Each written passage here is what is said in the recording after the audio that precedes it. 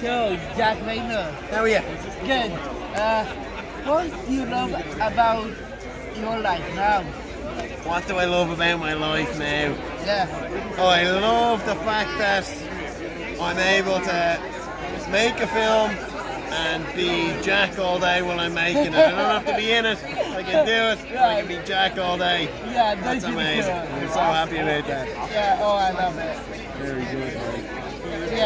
Happy camper. Yeah, it's such an honor to meet you again. And Thank you, mate. so and you. Always a pleasure, dude. Yeah. Always a pleasure.